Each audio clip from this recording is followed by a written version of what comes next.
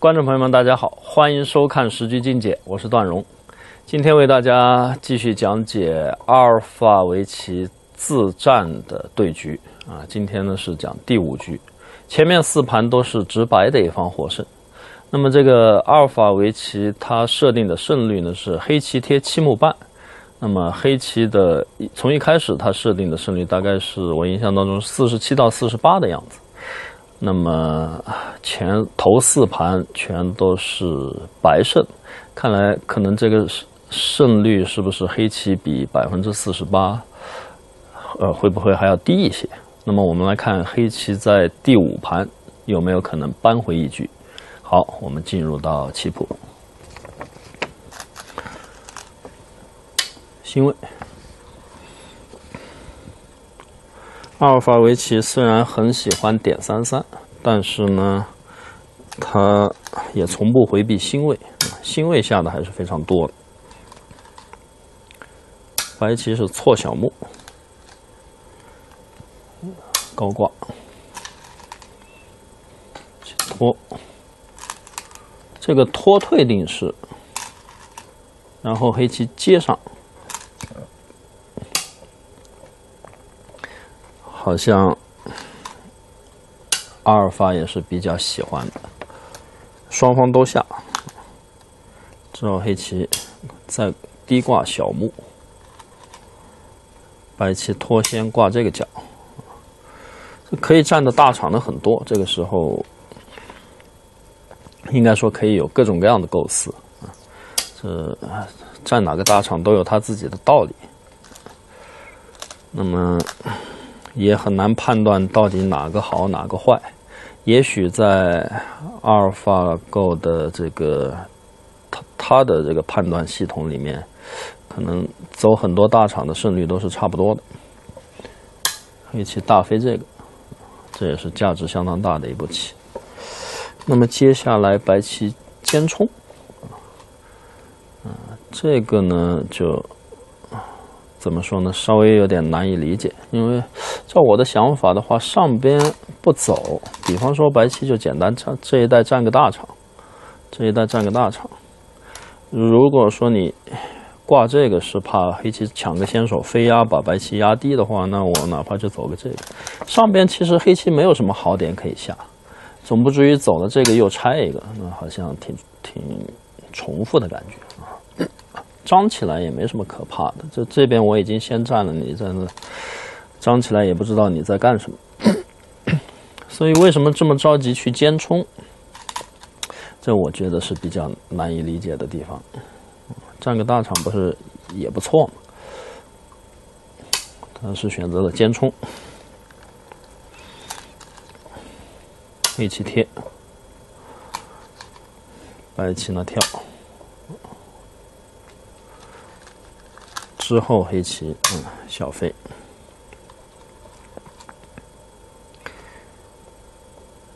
黑的小飞，白棋是尖顶啊。这个尖顶呢，因为这一代的价值已经比较低了啊。白棋如果在这一代加工，它本本身是一个很扁平的地方，白棋没有多少发展性，而黑棋走过去对白棋也是毫无影响。所以这一带价值是比较低的，白棋走角上，把价值低的一带让给黑棋走，这这个思路是很好理解的。嗯，尖顶完跳，那么黑棋如果拆这个，那白棋这尖顶就当先手便宜了，然后再啊，如比如说这一带啊，当然我们很难预测。阿尔法围棋的下一手，黑棋没有拆这个，也就是说，黑棋也判断这一带价值并不是特别的大。黑的是长，长一个进攻白棋这两个字。那么白下一步很显然在这边加工过来，或者是先尖顶。你如果长的话，我再加工过来，这一代 价值非常大，黑棋这里有相当的潜力，所以呢，白棋拆，这地方它尖冲两下就脱线了，你要冲它也无所谓，它可能就继续脱线，或者说呢，是不是在这儿，比如说跳一下，限制你一下啊，把你限制在在那个有限的范围之内，不不能再往中府发展了，这样白棋也就觉得可以了。将来恰当的时候一般战，你还得补一个，那个空其实并不大，所以黑的也就没有冲。而是把这个逼住，把这个逼住，这也是相当大的一手。嗯，那么白的既然黑棋不拆，白棋加攻，这是很自然的一个想法。这拆毕竟还是有相当的价值，你不拆我加攻，又可以进攻你这两个子。这地方毕竟能有所增增长，黑的如果逃出来，那么白棋顺顺势飞起也可以，或者说脱先走其他地方也可以考虑。这两个交换，白棋已经有所收获，而黑的走的呢是跳这个，也是挺有意思的一手。嗯，目前看不出它到底有多大的价值啊，它肯定是很有价值的。但是目前看来，是不是就真的那么着急，或者说它到底有多少价值，也确实也难以判断啊。如果白棋这么走过来呢，黑棋在这一带就拆一拆，好像也关系不大。白棋这也没涨多少。如果白棋这一带走过来，黑棋再走这个，似乎也来得及。那他现在就就这么走一个，当然也有加强自己隐隐约约要瞄着要进攻这两个子的意味，也限制了白起。嗯，这对于中府这种中府这种地方啊，走一步它究竟有多大？这个反正至少对于我来说是，是一个很难的一个课题。白棋呢？一看我加攻你不理我，飞起继续继续进攻你这两个子。那黑棋如果是这样出来，白棋很可能这么下啊。这个应应该是比较，比方说我们摆一个简单摆一个示意图，白棋就一路攻过去，把我那两个子也连上了啊，攻着黑棋这样。感觉白棋一种步调就声援了那边那两个弱子，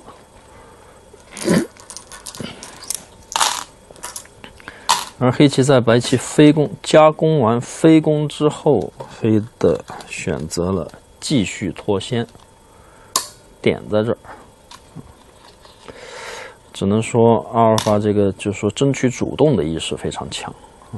你你要来攻我，我也逃啊，虽然逃出去也很轻松，但是呢。感觉比较被动，他要在总是要在自己能够能够寻求到主动的战场这个地方出击，点在这儿。那么这个局部白棋很显然挡下来的话太无理了，黑棋就这么硬贴应该也可以，或者这样飞点过来，这两个子太重，只要被白被黑棋分隔开的话，白棋。在黑棋这么厚的地方走走的这么重，肯定不是一个理智的下法啊。如果压上边的话，黑棋可能就爬过，白棋的根已经没有了。黑棋先手把白棋的根据地给去掉，然后不知道他怎么，也也许这这一类的啊，威胁你这两块。我们猜测黑棋也许有这样的意图。黑的如果局部就这么跟白棋纠缠，倒是倒是还真不一定。白的比如说这靠之类的，或者拖断，黑的是不是一定就能寻求到便宜，也也未可知。如果走这个的话，很显然白棋打吃贴，因为虎吃是先手。你如果这样走被滚包，显然是不行的。这个黑棋很无趣，啊，反倒帮白棋走棋。但走这个的话，被白棋挖吃，也不好办。所以白棋这一类的借用很多，黑棋可能不会这样搬出来纠缠。那么我们推，我推测，黑的可能就这，也许会选择这一类的下法。总攻白棋这两边，白的这时候下的非常灵活，就这里尖冲一下。对这种小飞手脚，嗯，这个阿尔法很好像很喜欢这样尖冲一下。黑的爬，白棋呢跳一个，他反正若即若离的走一走，这边呢总是有所增长啊，对这个子也有这个也有支援的作用。黑棋一看我点你就不走了，那么我贴起来。这也是很合理的一步棋。黑棋贴了之后，白棋照，照在这儿。白棋已经加攻了，再飞攻了，黑棋还是不走。白棋要求大吃。如果走在这里，当然对黑棋这两个子的压力毫无疑问会更大一些。但是呢，也依然没有吃的很干净。黑棋这次先手将来拖完加出去还是有，还是有逃跑的空间，而且呢，黑棋就啊可能比较容易弃子。我你还没吃干净，你如果再补一手吃，那我就算了啊。不补的话，我还伺机逃出去。白棋照在这儿，这个如果黑棋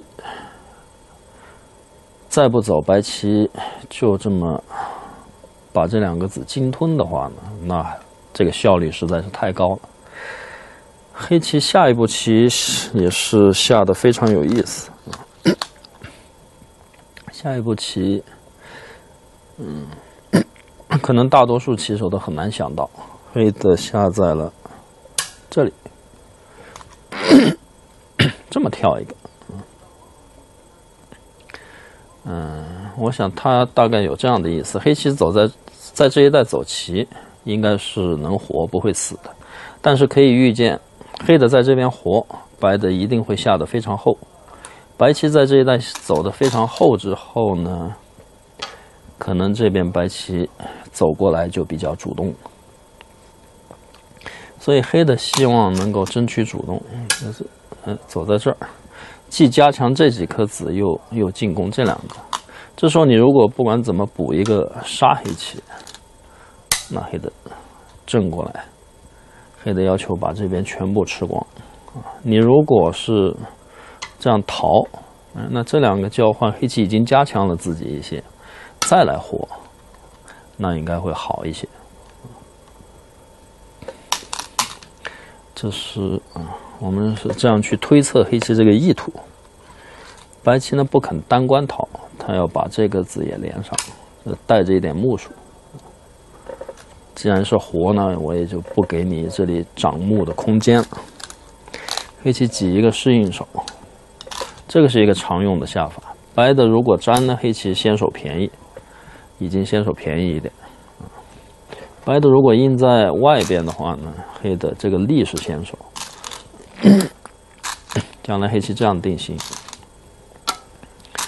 在立这个是先手，立先手的同时，他也考验你，你是要目数补在这里，还是要味道好，这样最干净，但是呢目数亏损一些，所以问白棋一个硬手，看看白棋走在哪里，黑棋再决定下一步自己怎么下。结果白棋干脆脱先了。阿尔法下棋的一个特点就是它经常脱先，能脱先的时候就脱先，挡下来，连续粘完挡下来这块算是加强。那么黑棋断，这地方脱先呢，确实黑的也没什么了不起的。接下来的话，黑的后续手段无非就是打下去。打下去之后呢，黑棋可以说，接下来怎么办呢？如果补一个呢，黑棋是够厚了，但是呢，在这在这儿花一手棋，啊，总觉得不不见得很值。这地方是是价值很大的地方吗？好像也不是。白棋将来加一加，跳一跳又回来了啊。不虎这个的话呢，白棋将来还有一些。加过来，然后你如果立我跳，这是一类骚扰的手段。黑的实际上也没走到什么，所以看看起来白棋脱先也是很有道理的啊。啊，那么黑棋断了两下之后，黑的也不走，断了两下他就当先手便宜了，他也不走了，飞这个。飞了之后，白棋点角是绝对不可能再进活了，所以同时呢也有进攻这四个子的作用。白棋又吃回来，黑棋如果这样来进攻，看着是很猛，但看着是好像很气势汹汹的，但是被白棋这这一带一拆呢，白棋要想活那块肯定不成问题。黑的反而这靠断之类的毛病显露出来，所以黑棋是这个走了个方块四，方块四。当然，黑棋这样走呢，这两步棋走完之后，黑的这块可以说彻底的厚了。白棋逃出来，逃出来。他选择了象眼这个棋形，因为现在白棋既不怕你穿，穿的话白棋冲下去，他他也不怕你什么贴贴的话，白棋就挡，然后打了顺出来，将来虎一虎都是眼形，他活非常轻松，贴断也没有太大意义。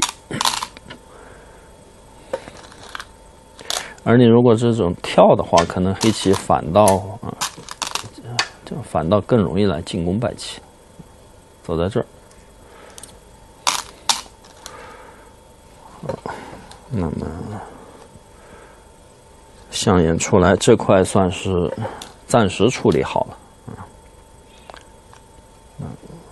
之后呢，黑棋当然轮到这边了，再不走被白棋吃掉就太大了啊。黑棋现在已经达到了把这块加固的目的，然后再活这边，拆二，搬。接住，白的呢拐啊，这地方黑棋断，白棋挣不掉的话，这里这里黑棋有种种借用，白棋拐，把自己走后，同时限制黑棋的眼位，搬，白棋一虎，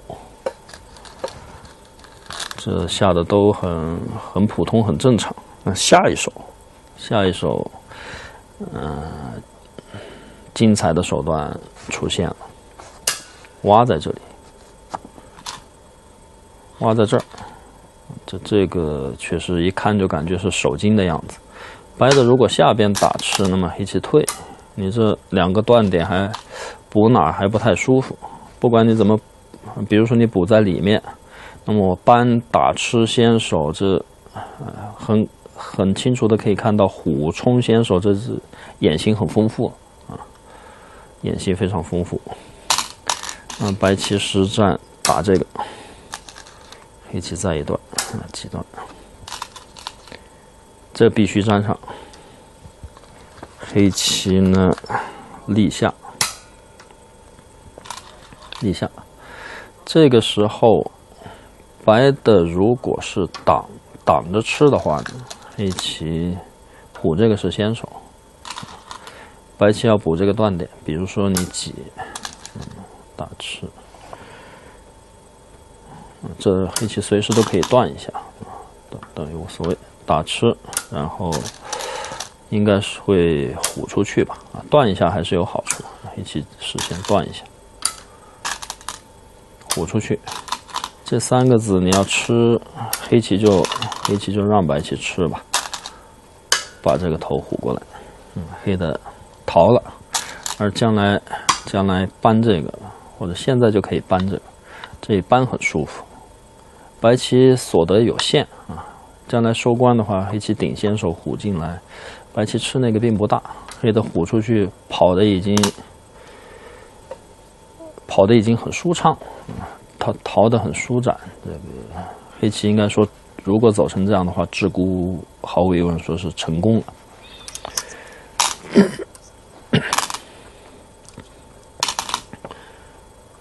所以呢，白棋没有挡，而是贴，非常紧凑。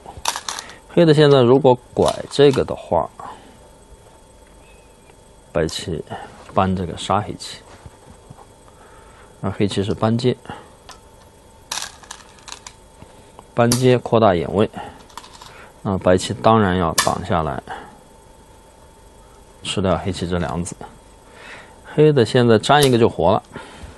粘一个就活了，但是如果是这样的活的话呢，黑棋觉得这样活目数不够充分啊。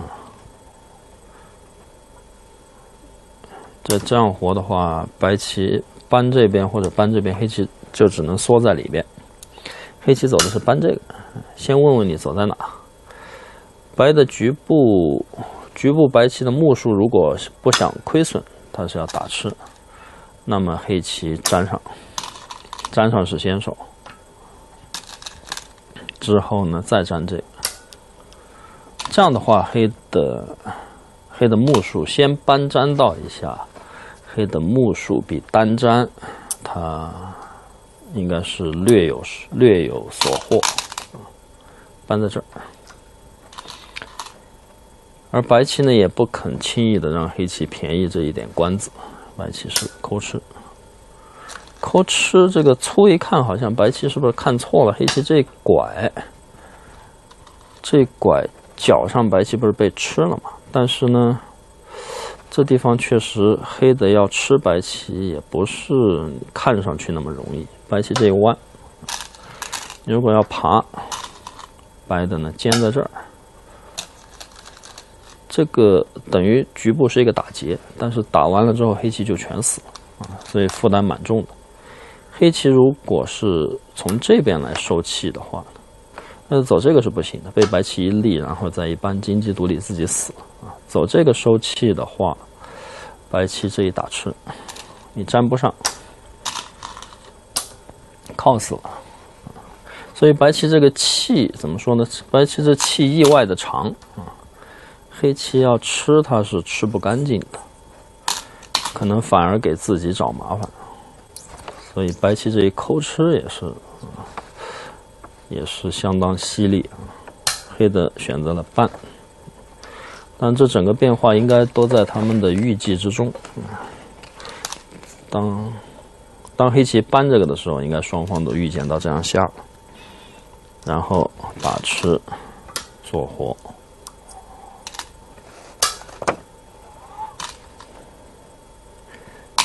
黑棋活了啊，还把白棋的脚上的目数给破掉。但是白棋，白棋呢下的非常的厚，下的非常厚。不过总的看来呢，白棋加攻飞攻在赵花了三手来进攻黑棋，黑棋能活成这样，应该算是很舒服了。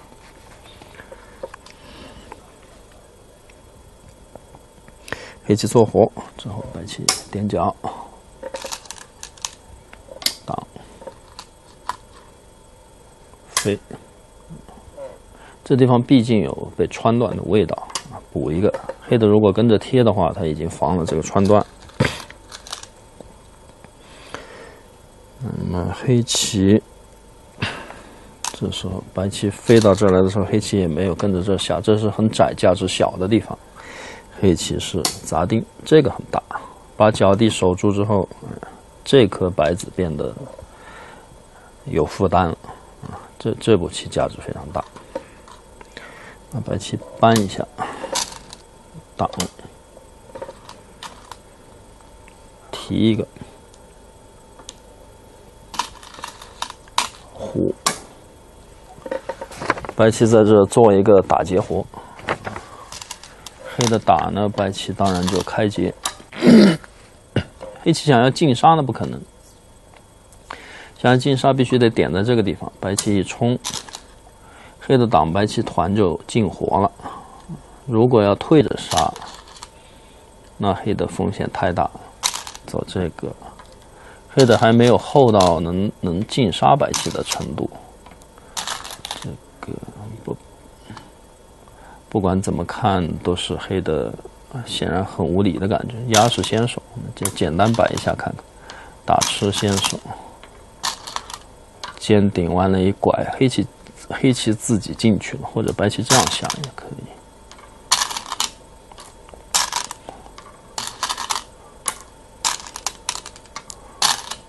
这一战，黑棋自己被卷进去了，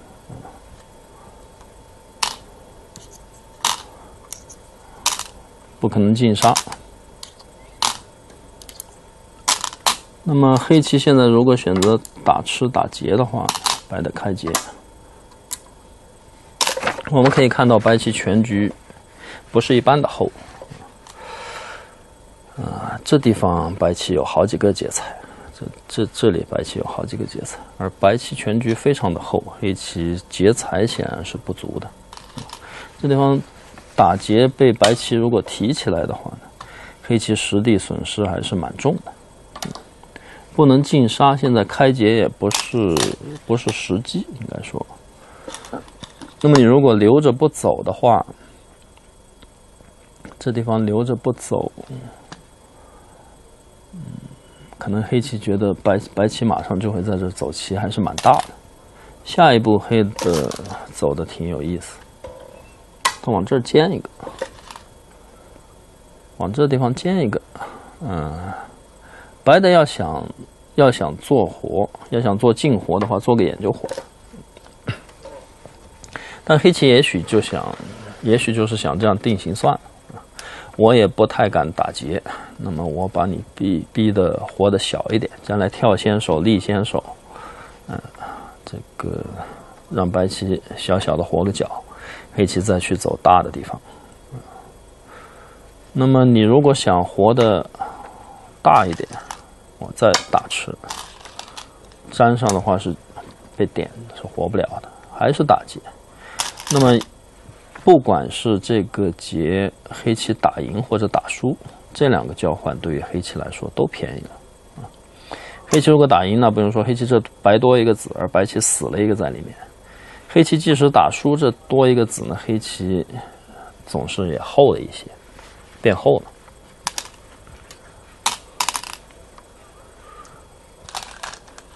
嗯，从推理上来说，黑棋走这个，白棋能进活不进活，跑来这儿走这个，好像这道理上也有点说不过去。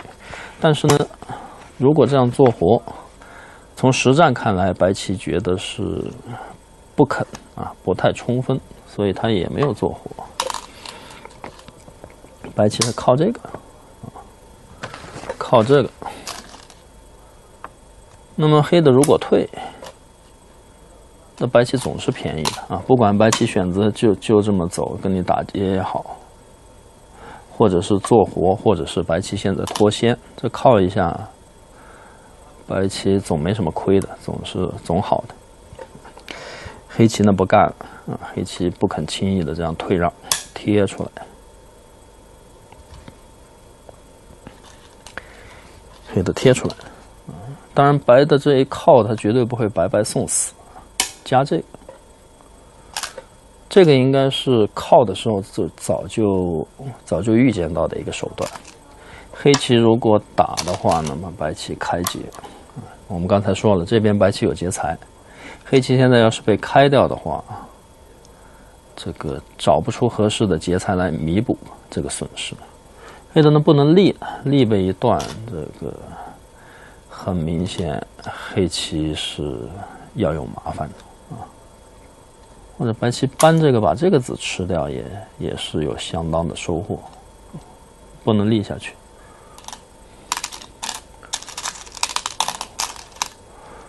那么黑棋虎上边，白的打吃，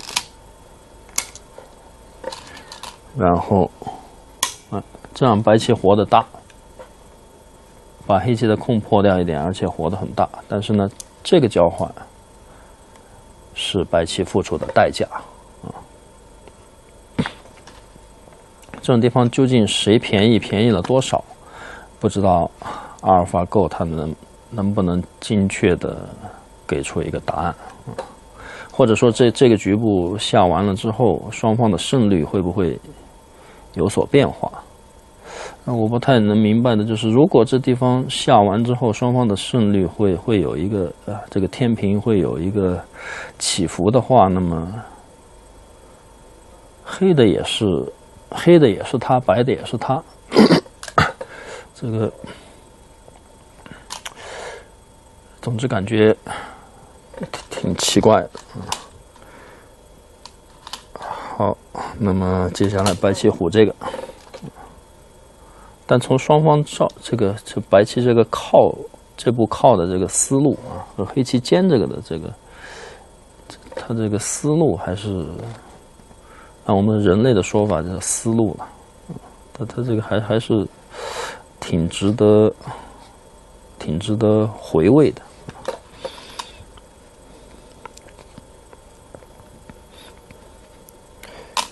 煎了之后呢，黑棋搬起，黑棋搬起，白棋如果退的话，黑棋搬一个就当先手便宜。我们说了，阿尔法绝对不会轻易的走单关，他总是走在那个。把棋子寻求走在更有价值的地方。你如果挡 白棋这冲有先手味道，甚至白棋会不会就就此脱先了，也是有可能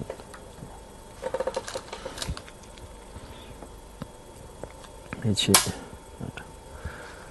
走这个，要把这个子吃住，这也是价值相当大的一步棋。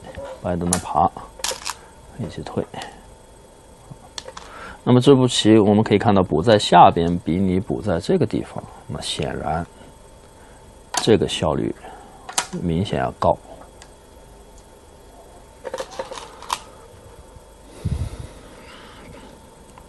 掉一掉，消一消黑棋啊！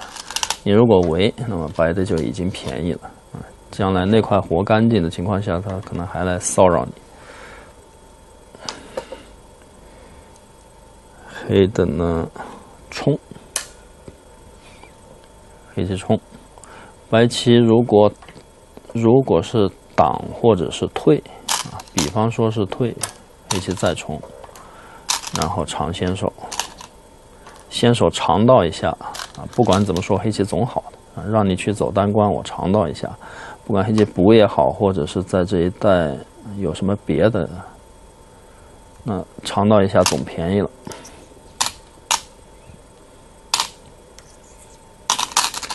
而白棋呢是搬这个啊，白棋搬这个好，这整个下到现在呢，啊，并没有发生特别激烈的战斗，但是我们可以看到每一招可以说都有一种很紧凑的感觉，它并不，它就是每一招都在寻求很高的效率，并不会说啊，你走一个我就退一退，走个单关，为了安全走个单关算了啊，每一招都下得非常紧凑。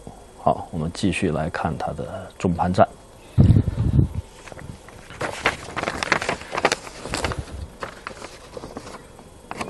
那么白棋搬到这里，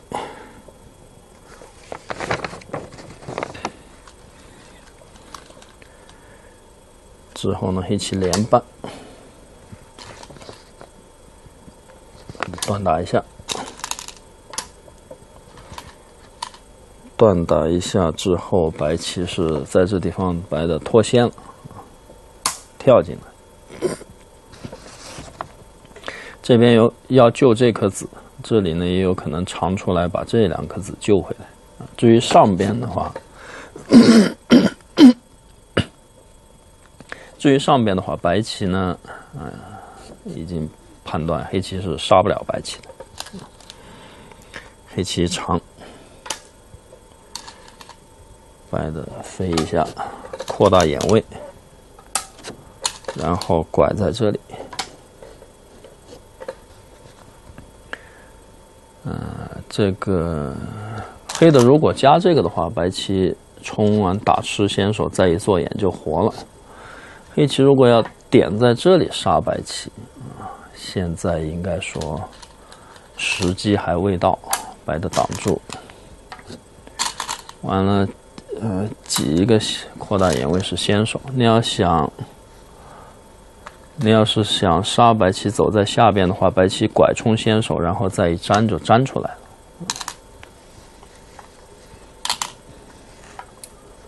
白棋拐。那么接下来黑棋贴住，把这两个子先吃住，白的长一下。既然这两个已经死干净了，这长就是，很愉快的先手便宜了啊。如果这两个活着的时候，这个长有可能是丧失了虎下来的味道，所以现在长掉之后靠，哎。白棋不只是把这块活了，而且他还把这颗子也往回连回来了，所以这一代白棋的下法可以说也是非常紧凑耗。了之后，黑棋看在这边再走，反正已经被白棋连回去了，再走也不太好走，拖这个。白的如果再挡呢，太窄了这个地方，黑的挖。如果打吃的话，在这个在自己这么厚的地方围着围着几目棋太窄了，黑棋已经先手便宜了。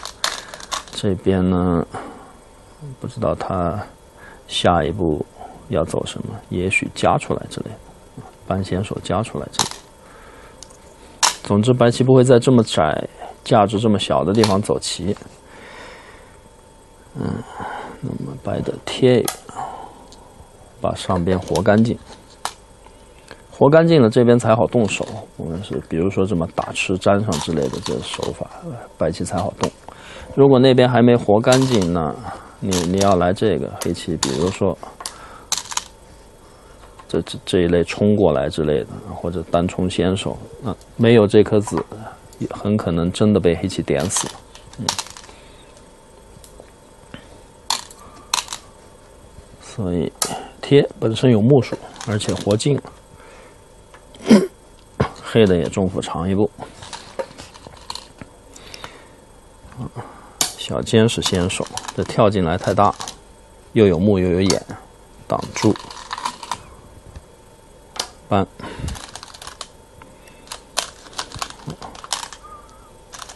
白棋搬之后呢，黑棋也搬这个。上，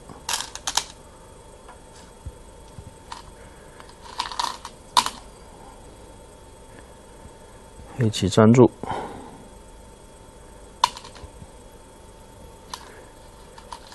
黑棋粘住之后，这棋可以说基本上进入到官子阶段啊。白的该活的棋也活了，大家就开始比拼，比拼官子，比拼后半盘。那么，我们来看一下阿尔法展示他后半盘的实力啊，这样团一个先手之后点点在这儿，黑的如果走这一单呢，白棋这留个留个扳这。黑棋已经有所亏损，挡住，把它吃进来，再点一下。这地方能留下一些借用，留下一些借用，留下一点味道。暂时呢是没什么手段，但是隐隐约约白棋多出了一些先手。之后呢，白的拖这个，拖这个。出人意料的一手，这个地方从这个地方开始收官。黑的如果挡，那不用说，白棋目数和眼位都得到，将来还加进来，黑棋这目数很，这很难受。加完粘还是先手，这受不了。黑的如果搬这个，白棋往里长。黑棋冲的话呢，我们看白棋再长还是先手啊，这这这还可以把黑棋给断了。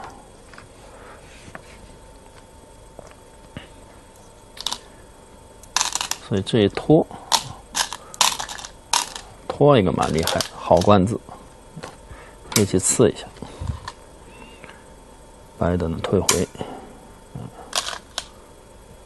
黑的如果冲过来的话，白棋就从这连回去。白棋走的都是目数啊，黑的从上边走的价值应该没有白棋从下边走大，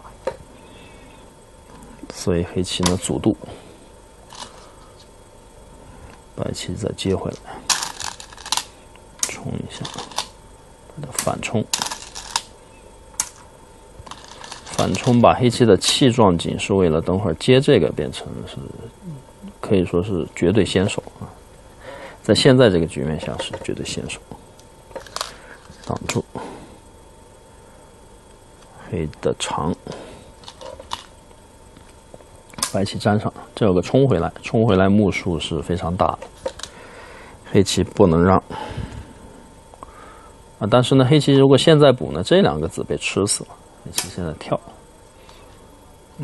黑棋跳这个。是不是白棋撞紧了气之后，就多了一个冲的手段？如果没有这两个的话，白棋再吃，黑棋就不要了。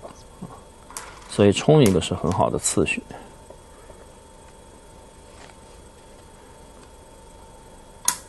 冲这个，黑的断的话，白棋打一战把黑棋给夹死了，黑棋吃，白的呢弧顶一下之后粘住。黑棋小尖把白棋封住，白的白的这个地方呢是可以活的，但是活起来有点难受啊。嗯，走这个就可以，嗯，搬一个是先手，搬这个是先手，黑棋得退，因为如果挡挡了也杀不了白棋，挡白棋粘，你来杀的话。这个目数先损失十几，先损失十来目的目数，然后白棋这一挤就这一挤，最起码这块是活的啊。黑的当然有搬这个的手段，我们等会儿再说。但是黑棋这里先付出了十几目的代价，黑的不肯。而这被搬进来呢，白棋脚上有眼，所以呢黑棋只能退。那么白棋这棋。这活的有点别扭，走走这个的话，如果走这个的话，黑棋黑的铺完阻渡，白的还得再补一手再做活，这目数很很委屈，目数很委屈。而白棋如果挤的话，这是不是那么轻易就能度过的？黑棋有这个扳的手段，铺再一提。提了之后，这个角上的白棋又变回打劫活的状态，又变回打劫活，所以这急也是有风险的，给自己多了一块打劫活。白棋是活的不是不会是那么舒服，那么我们看白棋怎么处理这个问题。这里有一个吃，可以断吃白棋三个子，白棋先搬一下。然后呢，外边点，从外面点刺。如果你贴回去，好吧，那么白的也就算了。这边该该该挤也好，该怎么活也好，白棋子先搬，先搬黑棋弯，点刺在这儿。黑棋如果走个单关，走个单关贴回去，那白棋将来还留着粘，还有一些味道。这两个白棋就当先手便宜，再怎么走呢？外边先便宜了，里边该怎么活怎么活。黑的不肯冲在这儿，冲在这里，这步棋的价值肯定比这步棋大。那白棋又跳点一下，嗯，那你要不要断？你要断的话，你这步棋是单关，那么我这步棋比你这一步价值要大一些。黑的呢，还是不肯走这个，也得贴这个。好了，那么白棋这多了两个子，接下来它团。我们刚才说了，黑棋吃一段，这大概能吃掉十目棋，而白棋现在团这个，先把这十目连回来。这里要贴出来啊，黑棋搬，白棋跳在这儿，黑的呢，这个时候，这个时候黑棋也给我们亮了一招，点在这儿，这个是好关子，这边要搬过，这边呢一虎再一搬又渡过，好关子。如果你这样随手一虎背一打，这个白棋打吃，如果看成先手的话，那白棋的目数就大了。点在这里，白棋呢是靠，走在这儿被黑棋一虎，白的靠在这儿，那么黑棋将来留个搬过，这个罐子上已经便宜了。之后呢，阻渡，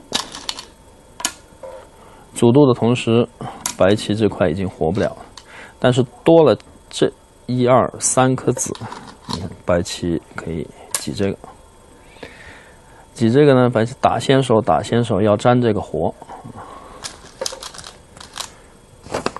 要求粘一个活，所以黑棋当然是提掉，白的一拐，这时候这两个子的作用发挥了，黑的呢，黑的吃不掉白棋啊，这边一长反倒。这这你如果来断的话，白棋这一长，黑的反倒死了，所以黑棋踢掉，白的打，贴。从这一带我们也可以看出来，这个，白白棋这个活活棋啊，比他简单的去做活或者是挤这个，啊，白棋这个思思路就。更高明，明显更高明。他先从外边来便宜你，看你肯不肯退让。好，走到这里，那么一打一贴，连出去了，黑棋跳啊，要求这冲断，继续要便宜白棋，打吃一下，接上，刺在这里。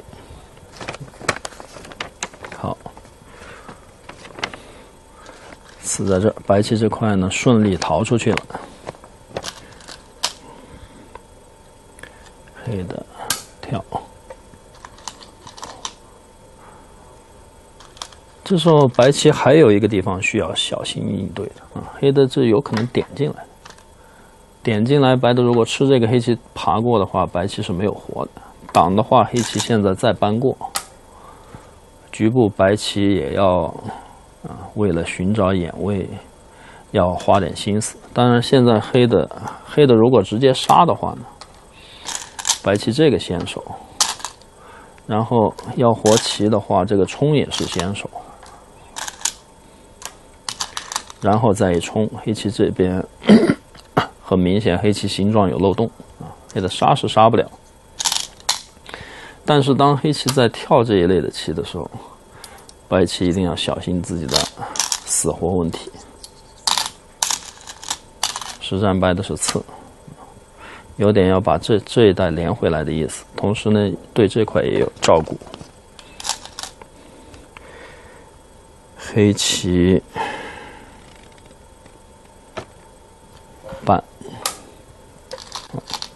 黑棋搬呢，白棋走在这儿，这样白棋就安心了。安心活干净了，不过黑棋这一点还是很有成效，白棋只能活两目棋了。反贴，单挡的话被黑棋拐很舒服。啊，黑的甚至有有断有挖这一类的手段，打了贴过来，所以也需要贴一下，再搬过。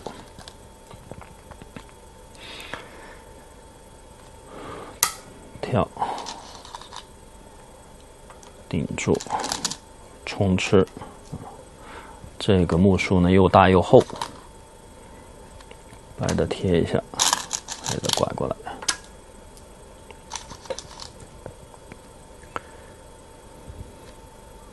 点，挡住，否则被先手爬一下。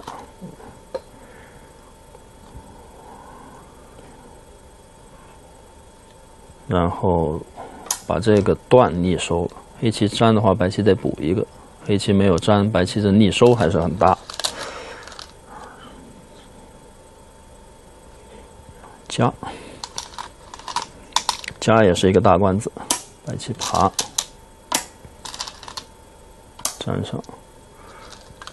这个吃呢，大致有七目，将近七目棋啊，呃，六目多，将近七目。而黑棋现在判断走这个价值更大。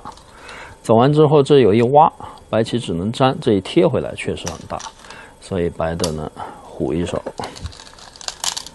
虎一手，黑棋顶，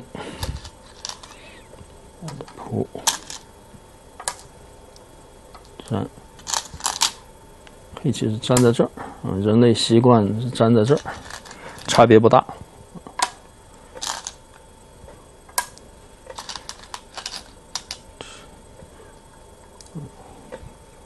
先冲了一下，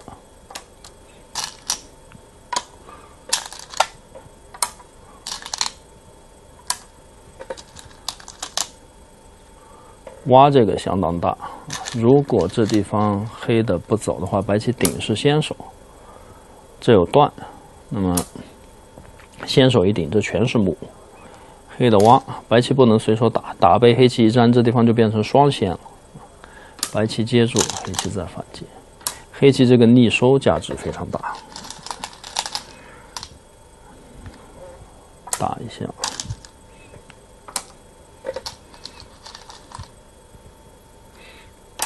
这都是先手全力，然后吃掉这个六目多，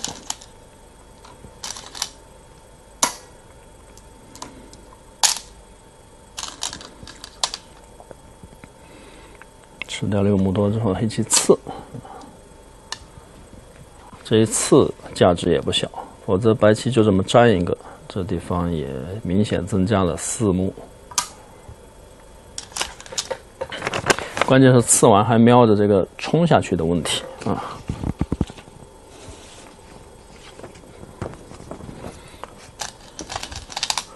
白棋呢提掉，把这块彻底连上，打吃。打吃本身吃到六目棋，关键是他提完拖啊，还脚上还有还有手段。白棋呢顶，黑棋提，白的粘上，顶了一个之后呢，脚上就彻底安全了。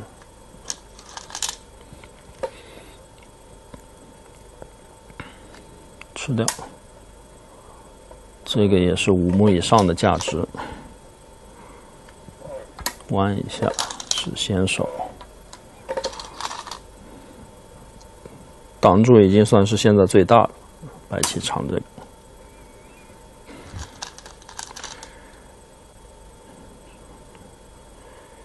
黑的呢吃，叫吃，白棋接住，这接住可不止两三目棋，这地方有。有这个，还残留一些味道。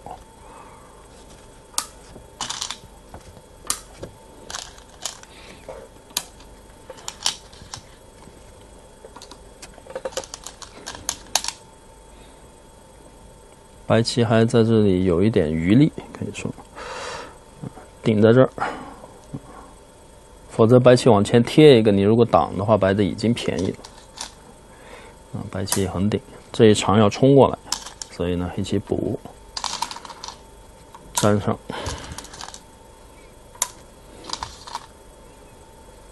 急。这一长，哎，两边要断，所以黑棋补一手。补在哪，基本上都是一样的，白棋都有先手一目的权利。之后呢，挡这个，挡是目前最大的关子。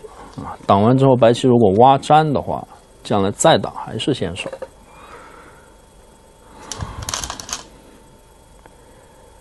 那么黑棋，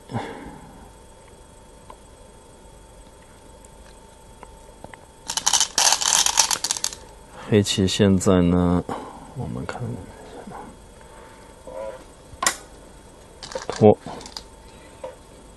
粘上，先搬，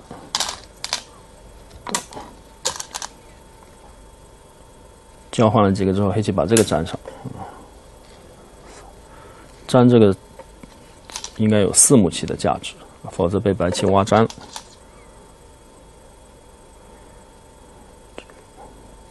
先手打吃，接住。局面其实是很细的啊，但是，这我我猜测啊，在阿尔法看来，这个胜负他已经应该是判断清楚了。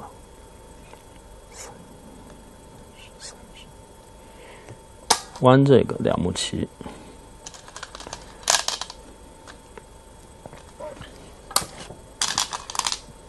先手一目，白的没有马上挡，而是冲一下，先手一目，住，搬。黑棋是有这个手段，白棋将来要在空里面补两手。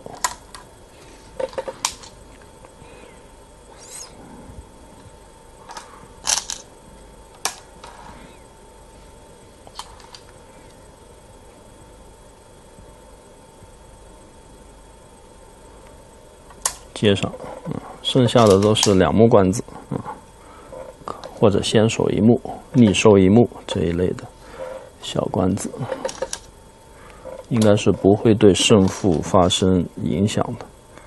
挖一个没什么太大意义，啊，白棋粘上，提，提是两目棋。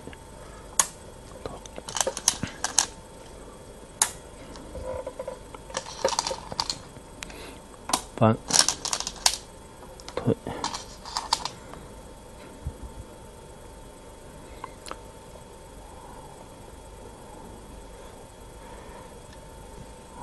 之后呢，逆收一目，逆收一目，顶一下。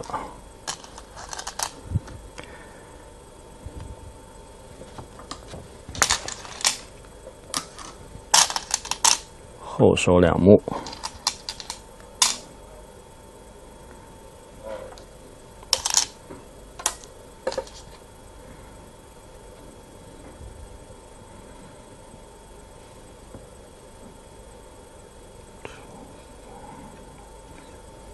扑，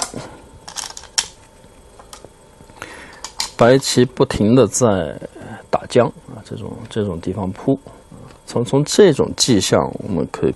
也许可以来判断这个白棋好像不太妙，因为一般阿尔法围棋在优势或者接近的时候，它不会不太会去下这种没什么意义的棋。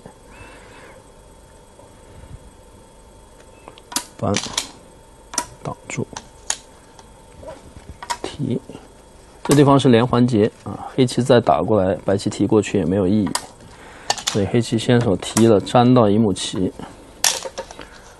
白的提掉。好，这个时候，这已经只剩下挤、粘和打吃这三个关子。挤呢是后手一目啊，但是黑棋现在选择的是接这个，但实际上效果来说也是一样，因为黑棋吃这个之后呢，能打赢这个劫。嗯，这是一个。机器做的选择啊，人类肯定是选择这一幕，然后这两个劫呢剑合，一人一个。但是这个选择对于对于这个这个选择对于胜负是没有什么影响的。最终黑棋总能赢一点点啊。这盘棋呢，白棋是认输了，但是差距呢应该是半目好黑棋终于胜了一局我们今天就讲解到这里下次再见。